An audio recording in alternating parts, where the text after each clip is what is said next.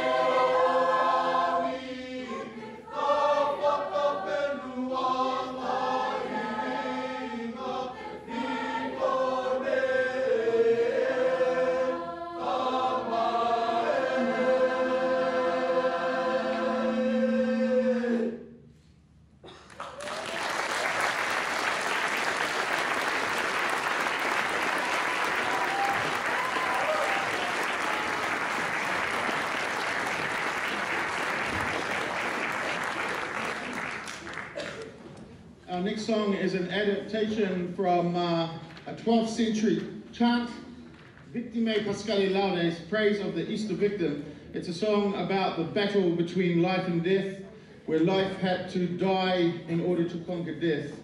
And uh, this version is by an American, Michael Engelhardt. It's um, a little bit more modern than the original 12th century, but the chant is tucked away inside for those with an ear to find it.